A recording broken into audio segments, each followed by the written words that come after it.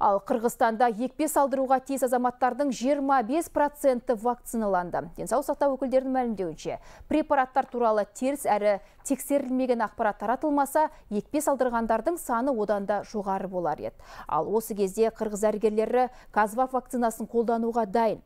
Олар сарапшылардың тәуелсіз комитетінің нұсқауларын күтіп отыр. Елде жаппай вакциналау басталғалы бері 586 мың адам екпе салдырды. Бұл вакцина алуы міндетті халықтың төрттен бір бөлігі. Әсіресе оңтүстік өңірдің тұрғындары белсенді.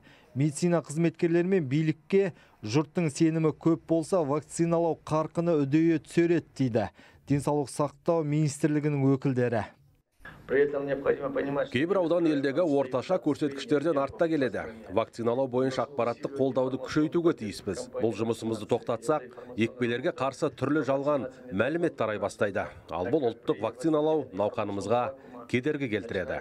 Қырғызстанға ресейлік Спутник Ви, Еуропалық AstraZeneca, Қытайлық Синофарм және қазақстандық Қазвак вакциналар жеткізілді. Ресейлік пен Қытайлық препараттар бүкіл ел аумағында қолданылып келеді. Ең кең тарағаны және қол жетімдісі Синофарм препараты.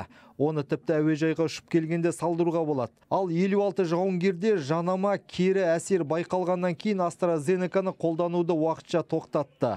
Қазвак тексерудің соңғы сатысын өтіп жатыр. Наш департамент лекарственных средств Біздің дәрі-дәрмектер департаменті ұсынылған барлық құжатты қарастырып жатыр және жетіспей жатқан құжаттарды сұрап үлгердік. Сондай-ақ бұл вакцинаны сарапшылардың тәуелсіз комитеті де тексеруде. Тиісті нұсқаулар алғаннан кейін бірден қолдана бастаймыз.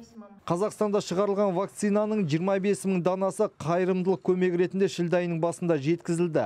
Оның жарамдық мерзімі 6 ай. Денсаулық сақтау министрлігінің өзі оны тезірек қолдануға мүдделі. Ұжымдық иммунитет қалыптастыру үшін халықтың 70% вакциналау керек. Ернат Мелісұлы, Бақыт Жермашев, Хабар 24, Бішкек, Қырғызстан.